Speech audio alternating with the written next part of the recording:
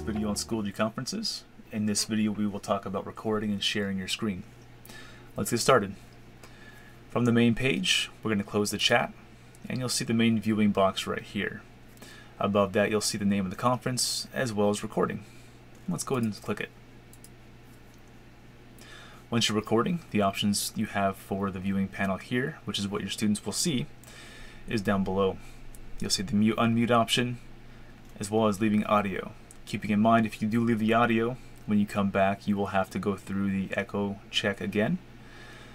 You can share your webcam and you also have options for sharing your screen. Now there's multiple options in here. You can share both your entire screen, application screens, or Chrome tabs. Once you select what you want to use, you can click on share and it'll go to your, your students directly. This concludes a video on Schoology conferences. Please take a look at other videos which may be of interest. Thank you for your time.